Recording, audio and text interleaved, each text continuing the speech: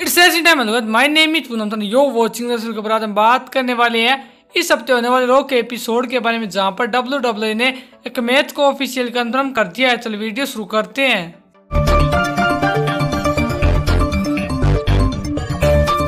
जैसा कि हमने देखा था पिछले हफ़्ते रो के एपिसोड में W W women's tag team championship के टूर्नामेंट का पहला राउंड देखने को मिला था और इस राउंड में अलेक्सा ब्लिस और आस्का का मैच डू ड्रॉप और निकी एस के साथ देखने को मिला था।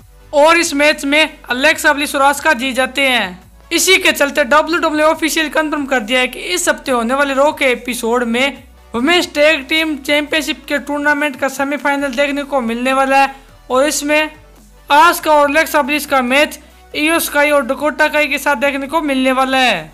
अगर वीडियो पसंद है तो इसे लाइक कर देना और चैनल को सब्सक्राइब कर देना। मैं मिलता हूँ अपने नए वीडियो में। तब तक के लिए गुड बाय